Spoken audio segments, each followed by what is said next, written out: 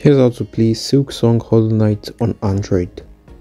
I'll also be showing you my best settings for very low-end Android devices, so make sure to watch till the end.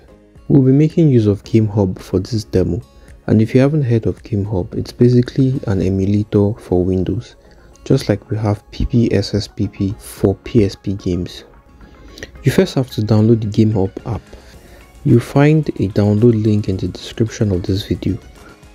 Once it's done downloading, install the app, launch it, then go ahead and set up your account. Now click on My which is at the top left. Here you'll find several options for setting up your game like PC Link which streams games directly from your PC, PS Link which currently only supports PS4 and the PlayStation 5, Steam which you log in with your Steam account and finally the import game option which is what we'll be using today. For importing your game, you need to already have your game files in your Android device. It could either be in your internal storage or an SD card on your device. Now click on import games then choose PC games. Next you need to select your game's executable file.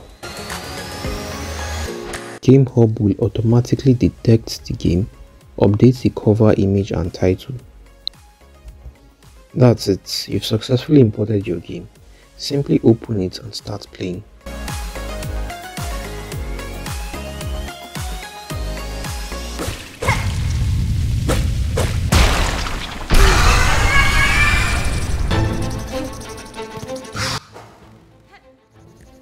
While Silksong Hollow Knight doesn't require much from your hardware to run, plus GameHub usually handles the settings for popular games like this.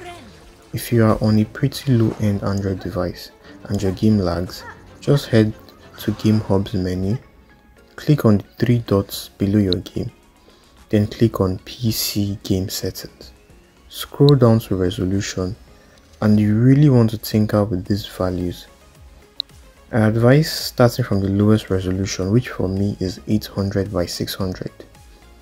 Then try running your game. If it runs fine but you don't like how it looks, try switching to a higher resolution till you find what works for you. If this video has helped you, please like and subscribe. I've also got a video showing how to import save states for Android so you won't lose your progress made on another device. Check it out.